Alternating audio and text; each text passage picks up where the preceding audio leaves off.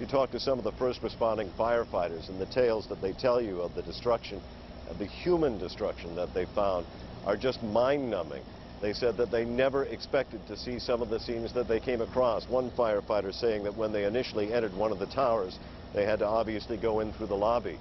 What they saw goes beyond human decency to describe, but there was a tremendous number of burned victims on the ground floor that initially surprised them. They expected to find the burned victims up where the two planes impacted.